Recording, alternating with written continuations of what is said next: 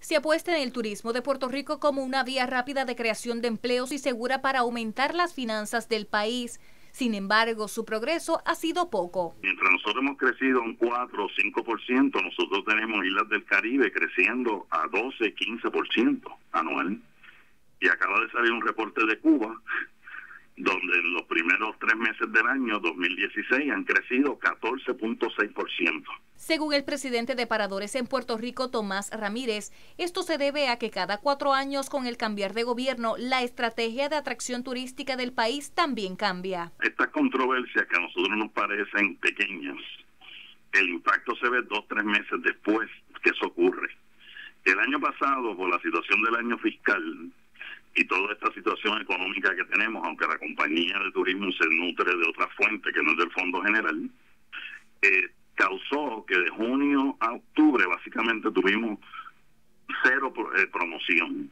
Y obviamente pues tuvimos los peores meses de, del año pasado fueron de septiembre a octubre. Ese es el caso de la campaña La Isla Estrella. Nos ha ido afectando nuestra capacidad de promocionar a Puerto Rico como un destino dentro y fuera de Puerto Rico. El primer show que lo tuvimos en enero en el lo que llaman el New York Times Travel Show. Que es el show de turismo más importante de los Estados Unidos.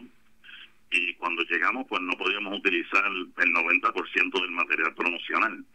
Eso se resolvió en una forma temporera y hoy había una vista en el tribunal, que no sé todavía qué ha sucedido. Es por esto que la Asociación de Paradores de Puerto Rico proponen una política clara y consistente con las estrategias de atracción turística, así como el alineamiento de las agencias gubernamentales para que apoyen el turismo en el país.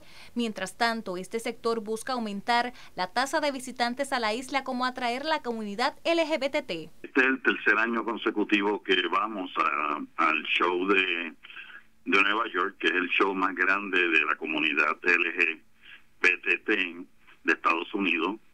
Y hemos estado participando para demostrar nuestro apoyo a la diversidad.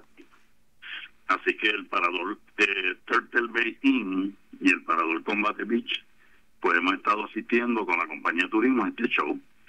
Eh, llegan 5.000 a 7.000 personas y les interesa mucho el mercado de Puerto Rico.